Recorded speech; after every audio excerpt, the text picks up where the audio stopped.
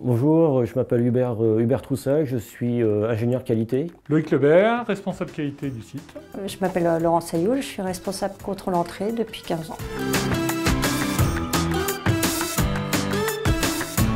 Nous sommes un sous-traitant électronique. Nous industrialisons et fabriquons euh, des systèmes ou des sous-systèmes pour nos clients. Nous recherchons un ingénieur qualité client dont le rôle sera effectivement d'être l'interface entre euh, donc, euh, nos clients et, et, la société. Le gros challenge du, du poste est de pouvoir communiquer facilement à son client sur les différents sujets touchant à la qualité.